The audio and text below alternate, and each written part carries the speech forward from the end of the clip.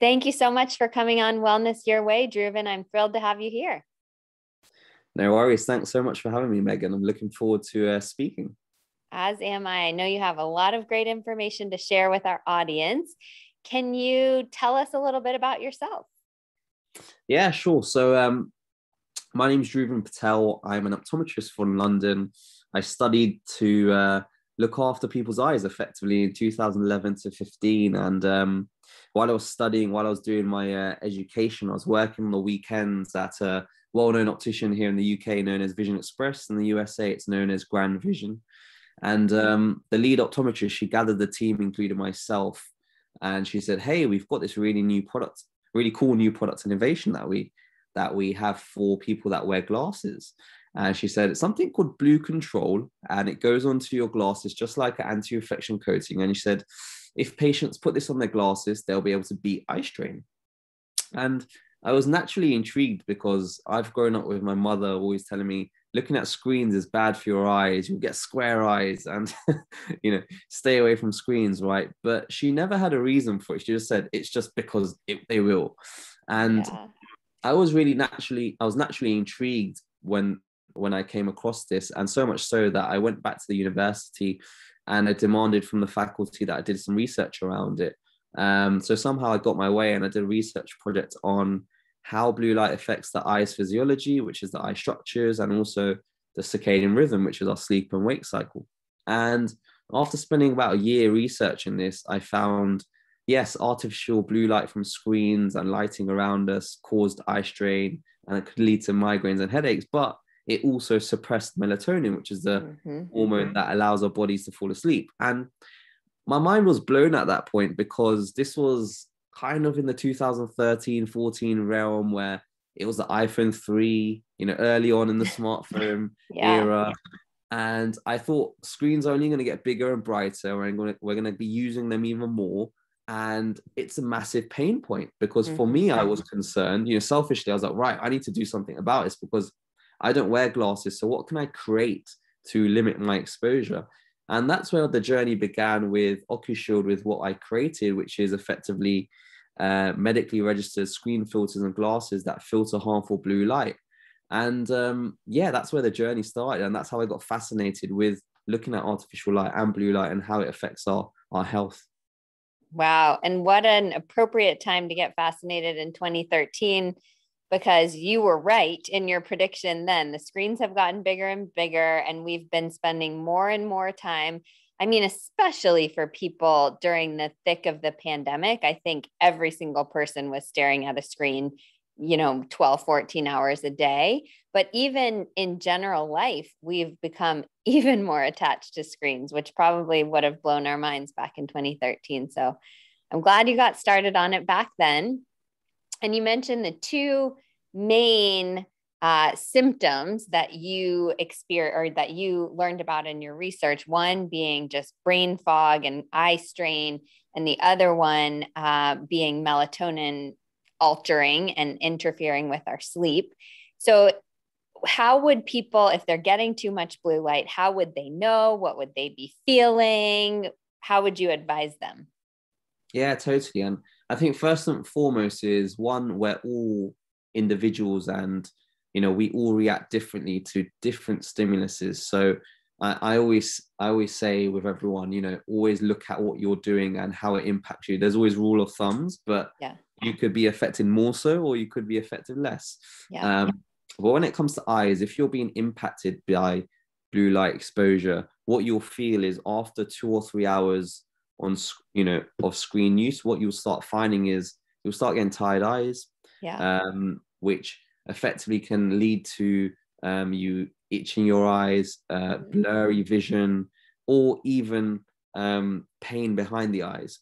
Okay. and it starts as early as two to three hours but most most people put up with it. They're in the deep flow of work. They probably won't notice it and then it's only after they've done eight hours of working at you know at their office or at their home wherever they're working now and on screens and they're like wow actually i need i'm so happy i'm resting now because my yeah. eyes and i just feel so fatigued um so you know if you're feeling that then blue light might be contributing towards that visual stress because it, we've got imagine the same way we go to the gym to work out a muscle group, we usually do, you know, seven to 12 reps and then you have a rest.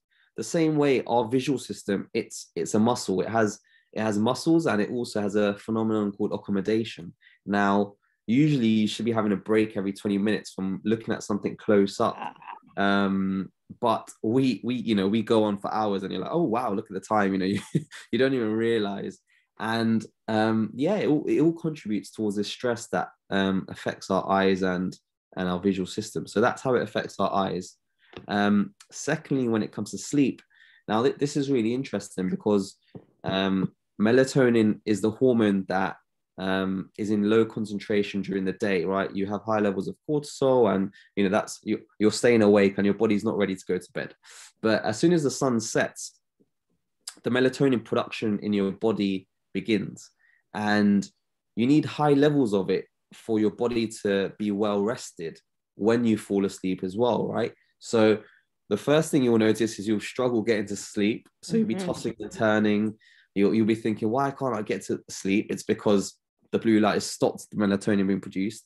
And then secondly, if you do somehow manage to get to sleep, if you've counted enough sheep, um, you won't get a well rested sleep because if your body's on edge, um, you know again this happens when there's low levels of melatonin in the body is your body's still awake and it's still being receptive to sounds to light um, or sensations on your skin and therefore it can't you know your body does has so many processes when you're sleeping cleaning the brain of toxins for example it can't and regeneration of muscle and yeah. it can't do that optimally if you don't have high levels of melatonin so yeah, the eyes and sleep, blue light affects it in massive ways, and those are kind of example the main examples I'd say uh, for you to watch out for and look out for um, when it comes to your eyes and sleep. Oh, I love this. I have so many questions coming from this. I'm going to start where you finished at the end, melatonin, because I hear a lot of people say, "Oh, well, I'll just take melatonin. It's fine." And I'm not a huge fan of taking supplemental melatonin because it can falsely alter your body's circadian rhythms and, and make you reliant on that exogenous melatonin. I believe, like you said, we need to get our bodies in the rhythm to actually produce it. Um, I did not believe this to be true because I have good sleep latency. I feel like I always fall asleep on time, but I would always wake up at night and I measure my sleep with my Oura ring, my Fitbit, all this kind of stuff. I'm like too much on the data side sometimes.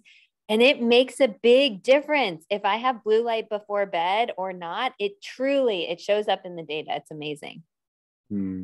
Yeah, yeah, there you go. And you can see, yeah, from yourself that it's uh impacting you. But I think with you know, to to your point around melatonin supplementation, you know, it it will help you get to sleep. But yeah. if your if your natural body isn't producing melatonin at the level you need, you'll have that big spike in melatonin from the supplementation. And then, I mean, it depends on the the ingredient, the quality of the ingredient, the bioavailability yeah. of what you're taking. But throughout the night, you still your body still needs to produce that melatonin so you can have a restful, well rested sleep. So you, you won't get the full impacts of you know limiting that blue light exposure. And yes. it's, it's, it's also it's an aid, which I know for some people it's really useful because yeah. they suffer from insomnia, which clinically they you know they, they can't do anything and they need to take it. Right. Um, but yeah, you got I guess we've got to be cognizant of also what happens once you're asleep.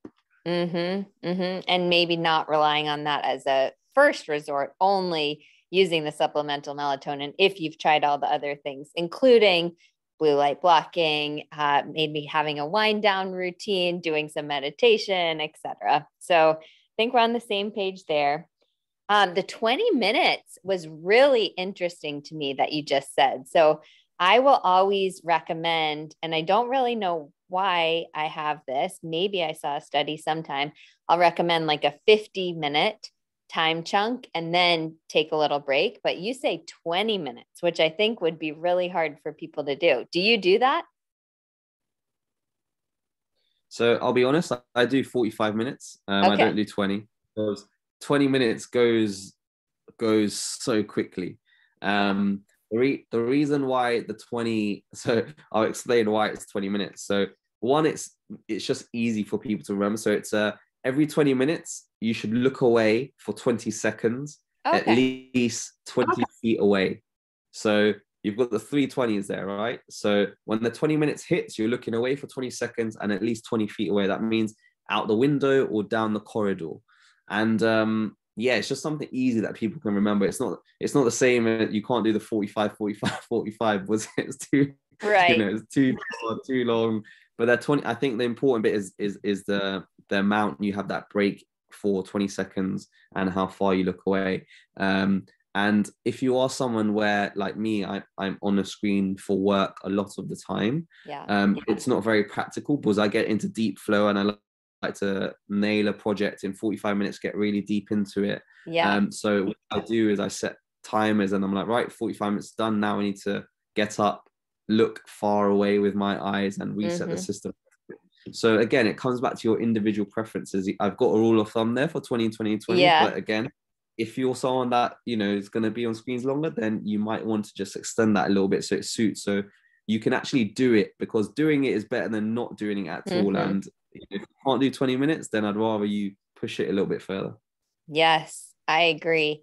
And I think I have seen some research that you might be corroborating here, which is if you look in the distance, if you look far away, and ideally, if you look at something natural, like I have a window right here and a door, actually, thank goodness. And I go try to step outside, look at the green, look far away. Why is that good for our eyes? Yeah, so again, it, it comes down to uh, the phenomenon of accommodation. You know, if mm. you look at if you put your finger in front of your nose, right, and you okay. bring it in right towards your, and you touch your nose, yeah. what happens is one, you see double, but also your eyes go, they cross to, closer towards um, together. Uh-huh. And what called is convergence. Okay. Now, when your eyes converge, they're actually working a lot harder than they than they are when they're looking straight ahead because ah. they're not they're not the you know when you're converging your muscles have to work together and then again accommodation gets activated okay. when, when you're looking straight ahead your, your muscles aren't really doing that they're just holding their place they're not really working as hard and also the accommodation isn't activated so they're in a relaxed state and therefore they can carry on doing what they're doing for longer so it's really beneficial if you're just looking further away um, your, your eyes are in a relaxed mode and it's you know your eyes are going to feel a lot more better if you're you're looking further away all day rather than looking at something really close where your eyes have to converge all the time. So interesting. Okay very cool. Well i think you have appropriately scared us away from staring at screens straight for 12 hours in a day. This is very good. I'm actually wondering if there's any benefit of blue light at all. Now i'm going to tell you the reason for my question. Dr. Andrew Huberman, he talks a lot about resetting the circadian, circadian rhythm by seeing blue light in the morning intentionally. And I just recently tried a brain tap. I don't know if you're familiar with that device where it's shining blue light in your eyes and like some kind of almost like psychedelic pattern or something like that. And my instinct is like, no, humans have not evolved. Like 5,000 years ago, there was no screen shining blue light in your eyes. So I doubt it, but I trust these researchers. So, what's your opinion? Is blue light ever good? Yes, so there is good blue light. Um, good blue light should come from the sun naturally, mm. um, where possible.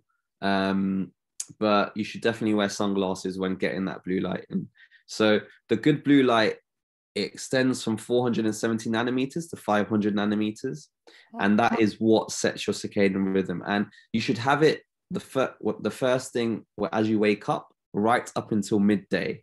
anything okay. after that um, doesn't have its its most beneficial impact um, but yeah i'd say get it naturally i'd avoid you know getting your iphone and putting it in front of your face wake up like don't don't don't use artificial light to stimulate your circadian rhythm you know you can get something called seasonal affective disorder lamps which are yeah. lamps which have the right amount of lighting if for example here in the uk we we have you know it gets really dark in winter and you know mm-hmm. the sun doesn't appear until late morning and you you, you know you're not going to get that natural lift so sometimes you need a little bit of a um, artificial device and th- yeah. those are great yeah. because actually the best ones um, are safe for your eyes, right? That the blue light that's being emitted isn't the 400 to 465 nanometers, which can cause eye damage or visual stress or affect Mm. your eyes and skin, but it has the, the the good blue light, which generally isn't going to affect those things, but just your melatonin. So that's what you need to look after and look for. So yes, there is a good blue light which you should get during the mornings, but naturally where possible. Gotcha. Okay. I actually didn't realize that the that specific spectrum came from the sun as well. So now it makes so much sense why it's good for us to get sun in the morning and uh, why the sun naturally sets in the evening. I love it. Thank you for closing that gap. So, like I've been mentioning, I wear I've been wearing blue light blocking glasses at night for many years. Uh, They've improved my sleep significantly. And because I take these breaks in the day and I look outside at the horizon and the green and all this stuff, I don't feel the eye strain, but I'm probably still getting too much blue light. I'm literally, as you are, I'm sure, on 12 plus Zoom calls per day. I stare at the screen all day, even with the breaks. So, does that, do I need to be worried about like my eye health long term? Or maybe put another way, if I don't feel the symptoms, am I still getting too much? yeah, really good question. So when we're talking about eye health long term, um, there's a fair few research studies and papers already out there that look at either in vitro, which is effectively in the lab, or cohort studies where they follow people across um, a small or a long period of time. And there's already research pointing towards um, blue light in large quantities in a short period of time. You know, it's been it's been done in mice and monkeys, for example, and it showed that it causes retinal cell death. Oh, And if you if in the center of your eye, in the retina, the back of the eye, you have something called the macula, and that's where these cells have been affected. And um, what it's pointing towards is age-related macular degeneration, which Mm. is a disease of the eye, which usually at the moment in the sixth, seventh, eighth, and ninth decade of your lives, you suffer from this, and which results in a black hole in the middle of your vision. So if you imagine oh, wow. looking at a piece of paper or just looking at someone's face, face, someone that has that condition, they'll have a black hole because the, the, the cells there are dead and they can't receive the light and transmit it into an image to the brain. Now, it's really interesting because obviously these are these are research papers which are citing, hey, there's something we should be concerned about. Um, they they haven't been able to do that research long term on adults using screens or artificial lights, and I don't think that will ever come because one, you need to be able to follow around people for 30, 40 years. Yeah. to no one's going to fund that kind of study because it would be too Right. expensive um and it's just it's just a really complex disease in that in that sense and it's something that I'll, I'll give you another statistic here you know kids eyes they're twice as susceptible to blue light and uv light damage than adults right Wow. because the lens in their eye it doesn't develop until their teenage years Mm. now if we look at a disease like age-related macular degeneration which happens in our latter life um kids you know we won't know the impacts on kids until they get to that part of their life but if you compare if you put the two hypotheses together you can kind of make an educated guess to say right well it's not going to be beneficial for kids was they've not they're growing up with you know in the pandemic we saw their ipads for work play you know everything. They were you know literally there um was they had to and they've you know i think a lot of schools have now adopted that as well. So it's something that should be on our radar um i'm not i'm not saying that we should be you know overly scared in that sense but Right. it's just being aware because i always believe prevention is better than cure um so limiting what we can do and you know expanding our knowledge around these things is always best Wow, that is really scary. I didn't know that about kids being twice as susceptible. And it makes total sense. We don't have the research on them yet because the people who are in their 60s, 70s, 80s now, they didn't have this amount of screens growing up. So, goodness, I'm scared about what's going to come in the future. But like you said, no fear mongering here. We're Mm. just going to do what we can to prevent it. And you have some really good strategies, which we'll talk about. Actually, why don't you go ahead and preview your company right now? You developed this company with amazing products and tools to um, help us mitigate the damage. Can you tell us more about it? Yeah, sure. So the company is called OcuShield, and you know, we're the world's only regist- medically registered products. So we're registered with the FDA in America and MHRA in the UK, which is the Department of Health. And why that's important to us is we're, we're a team of clinicians. So, you know, we're a team of optometrists and sleep experts. And all of our products um, that you know whatever whatever way you want to use them. So we have screen protectors that go onto your phone or laptop because some people don't like to wear glasses which we always also do. Yeah. Um, so we have the form of screen filters or glasses that filter out the blue light. And um, we also have a lighting product called the oculamp so we talked about uh, seasonal affective disorder before, but our lighting product is actually one that allows you to control the color temperatures and intensities of the light. It's flicker free and also emits low blue light. So again, it was a really popular product in the pandemic because people were working from different rooms and wanted to control yeah. the light. And lighting is so important and something that's also not um, discussed enough. So in a nutshell, OcuShield exists to let eyes thrive but all of our products filter the blue light without changing the colors on the screen. So you may have on your Apple iPhone or an, uh, a MacBook, you have a software called Night Shift or Night Mode, which t- changes your colors and turns everything orange, right? Yeah. Um, yeah. I was a user of that as well, but I just turned it off because it just gets annoying. yeah. And yeah. there was many other people like me, and what we strive to do is to limit as much blue light as possible without changing the colors on the screen, because no one wants to scroll through Instagram or watch Netflix or send the email when everything looks a you know ugly orange tinge. So that's and even more children children turn that off because they hate it. and for parents, they want to know their children are protected. So it's important to have something there. That's why I think that you're that's why I actually put this question right here. I think that the shield for kids is genius because for me, a, I don't have a problem putting on my glasses. I don't really forget and I don't care if they look weird or whatever, like it's fine. And B, if I'm sending emails, honestly, I don't really care if the color is different. But for people who are very into visual stuff or for kids who are gaming and they're going to turn off the night shield and they won't use their glasses, I think the shield is so necessary now for phones. I will highly recommend that for parents of kids who are on their devices too much. And anyone like i can imagine my husband he's much more visually sensitive than me. If the picture looks off at all he doesn't like it. If he can't stand watching things that aren't in hd or whatever and he i'm sure turns off his night shield. So he would or night whatever you call it night focus whatever on the iphone but he would really benefit from the shield. That's a great use case and then for me, I'll just keep on wearing the glasses most of the time. Exactly, exactly. If you're a fashionista like yourself, then I'm not. Know, I'm not. there you go. Even if you're not a fashionista, yeah, you know, like wearing the glasses, do it. And I think the glasses are great as well. You know, you, you mentioned a great point about you know, for children, the screen filters are amazing. Was children will chuck off glasses, and yeah, yeah, you'll have a hard time managing that. Um, uh, and I'll give you one reason why I like the glasses as well is um, as I mentioned, lighting around us is important, and we also don't we we underestimate how much blue light is in the LED lighting around us. Mm. And if you look at the ISO certifications and guidelines, there's actually more blue light in the lighting around us.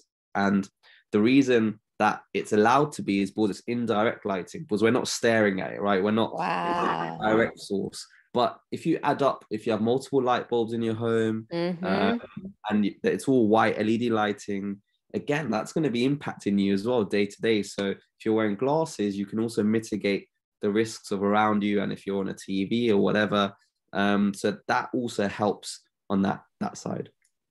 That is so interesting. You're making me uh, consider and not even consider. I'm committing right here to wearing my glasses more through the day because I actually don't have the overhead lights on my office. Like I said, it's right near outside. So I have tons of natural light. But then I have this ring light sh- shining right in my face, which I'm sure mm-hmm. has blue light, right behind my computer, which definitely has blue light. So glasses are coming on more through the day. And then I'm going to get a computer shield as well or laptop shield. So thank you for this. Um, and and like you mentioned, you're the you have class one medical rating from MHRA, the first screen protector to be considered a qualified medical product. So I know there are lots of ones out there. And frankly, I don't really know how to tell if I'm looking on Amazon or something. It's hard to tell through their advertisements which ones are good or which ones are not, but I can um, understand that you've gone through all this certification process which couldn't have been easy your your product must be very high quality. So thank you for that. Yeah no problem man. It's, it's really important. And as you said there's lots of products that claim to limit blue light. And for us it's important to provide consumers with the best possible product. And that's why you know i've spent over seven years of my life kind of dedicating myself to this and constantly improving what we do. And um yeah, it, it, it's why we we like to think that our products are the best and also support consumers in the right way. Yes, amazing. Now I'm thinking of one more use case that doesn't really apply, doesn't apply to me at all because maybe seven years ago or so, my husband and I said, no phones in the bedroom, like absolute zero. And we don't have a TV. So that really makes it easy for us not to scroll at night or um, just get sucked into watching something or whatever.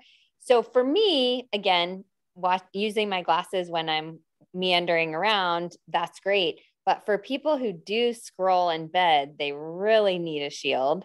In fact, I would encourage them to go the next step and not scroll at all in bed. Can you talk to us at all about the detriment of scrolling through our phones late at night? Yeah, totally. Um, um, it's there's this term called sleep hygiene um, where it's really important what you have and what you do in the bedroom.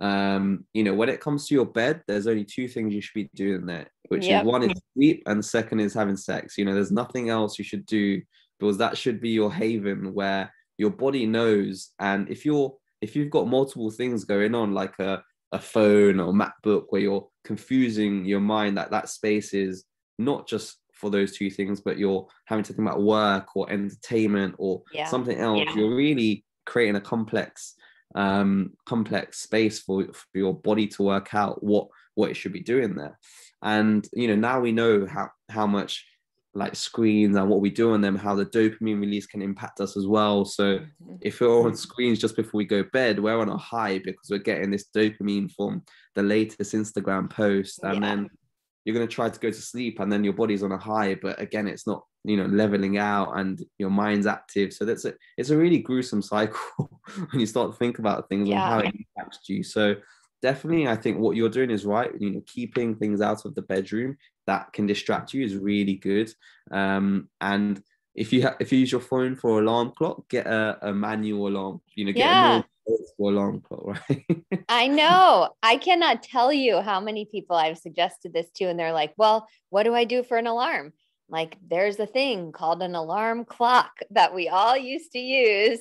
And people just forget that's an option. So it's a it's a really good option, and ideally one that doesn't have blue light shining from it. There are I I actually just use my Fitbit, which I could argue in my own way that I shouldn't wear my Fitbit to bed.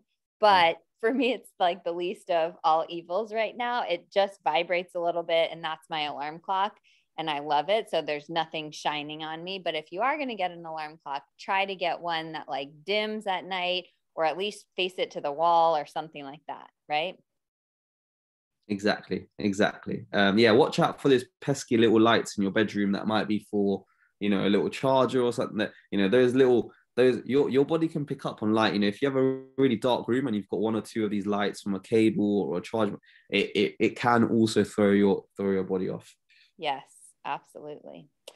All right, so let's talk a little bit about eye health as it relates to nutrition, which is my favorite uh, area to talk about. And I saw an Instagram post of yours from last year that asked your followers to prioritize green vegetables because of lutein, zeaxanthin, and vitamin C and E. I was super excited about that Instagram post. Can you tell us more about that? Yeah, definitely. You know, the eye, eyes are such a special um, sense of ours. And they, there was actually a research study done and asked people, you know, which of your senses would you like to lose least? And everyone, 90% of people says that their eyes, right? Yeah. But day to day, 90% of us don't actually look after our eyes mm. because we only we only appreciate it when something goes bad. So, um, you know, the best way to look after your eyes is, is really simple. Um, it's having lots of green vegetables. And as you as you correctly mentioned, it has the main two ingredients, the lutein and zeaxanthin, which supports the macular pigment. Again, what we talked about before, where the macula is responsible for allowing you to see, see your central vision, but it's also your natural defense against UV and blue light. So you know if you're if you're making sure you're getting those green vegetables in your natural defense to blue light is actually going to be looked after as well. So you're boosting those elements. So yeah green vegetables is my go-to. And then if you can get the omega-3s in as well that also supports um, maybe not the back of your eye but the front of your eye. So we have glands around our eyes which um, deliver oils to the front surface of our eyes. So you know when we blink we lubricate our eyes. Mm-hmm. and it's important we don't have dry eyes because when you get dry eyes you also you, your vision can suffer because you get um you know get a you know a nasty not a clear kind of um cornea. You get if you imagine a clean window if you've got muck on the window you're not going to yeah. see well out of it. And that's what happens when you get dry eyes. So omega 3s are really important so i think those are your two main ingredients when it comes to looking after your eyes okay so we all need a bunch of green vegetables and some fish flax chia walnuts however you're going to get your omega 3s. I can support that fully. Thank you for that. Let's just throw you a curveball. Is there one health habit as a busy entrepreneur like you? Is there one health habit that has maybe nothing to do even with your eyes that you feel makes a big difference for you? Um, one health habit that makes a difference for me. Um, I really so for me, what makes an impact is I like to have a tactical. So I'm I'm not a big coffee drinker, um, or I've never been a coffee drinker. I've just never enjoyed the taste, and um, I've actually re, you know recently been reading actually coffee is good for you. ah, yeah. In how it can decrease um, you know, cardiovascular diseases, and it helps so much with vasodilation and making sure that your your your blood flow is good. And so I've been having a tactical coffee mid mid afternoon. Um, I'd say around two p.m. Um, and what that does, what it one, it counters a slump after lunch, but two, it also it's been helping me long term, like mid to long term, with how I feel day to day and just feeling generally better um, you know, getting good quality coffee in. So I only have one, one, let's say one cup or uh, yeah. one shot a day. But for me, that's made a massive impact. And I think if there may be pe- people listening here who don't use utilize coffee or don't drink it, but it tastes horrible like I used to. But actually, yeah. Actually, it has really it's really powerful as a as a ingredient. So it's something to look at and uh, yeah, help your health. I love that calling it a tactical coffee. I like the taste of coffee. And you are absolutely right that for heart health and many other brain health, cognition, etc., um, there are benefits of coffee in moderation. So for anyone listening who hears this and they're already drinking seven cups a day, Dhruvin is not suggesting you bump that up to 12 cups a day. There's a limit to everything. And I think in research, the limit is about two to three cups per day. So um, what you're doing is awesome. I'm going to start calling it a tactical coffee, especially if I choose to have another one in the afternoon. That's going to be my phrase. Thank you for that. No problem. All right. So we talked about your products, OcuShield. I think this is maybe the hardest question I'll ask you the whole time. If listeners or if you could just choose one of your products, if you could only use one, which is your favorite product? Oh, it, it would have to be the OcuShield for your for your smartphone. Um, okay. we'll be, we carry those buggers around all the time wherever we are, and yeah, yeah that, that's the main one. okay, well, I was just showing Dhruvin before. I have the OcuShield shield for my smartphone, and I have not yet put it on. But I promise you, within 30 seconds of us getting off the call, that's going on my phone. Just for anyone listening who's not seeing us, it is a very um, I don't know, you wouldn't notice it. It's tempered glass. It doesn't have any kind of like frame that will alter the way your phone looks. It's very light. I feel it. So I can't imagine it's adding much weight to your phone. I imagine once I stick it on there, I won't even know it's on, except I know I'm doing something right for my body. Is that correct?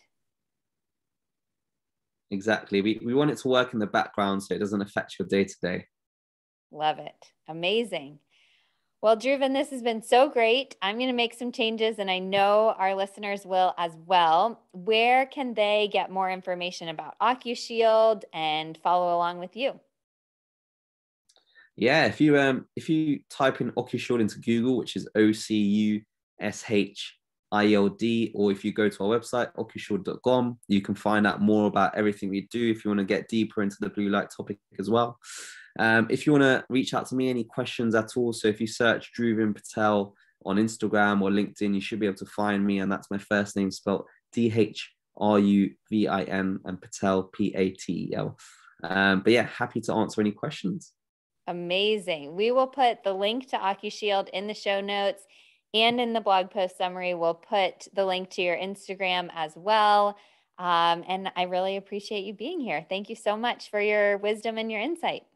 No problem. And if anyone does want any products, we can uh, we'll create a code for your your listeners called Megan20, so um, they can get 20% off as well. Amazing! What a gift! I highly recommend it. Um, so we'll put that code in the show notes as well for everyone. Thank you for that. And I hope you have a wonderful rest of your day. Thanks so much. It's been great talking. You as well.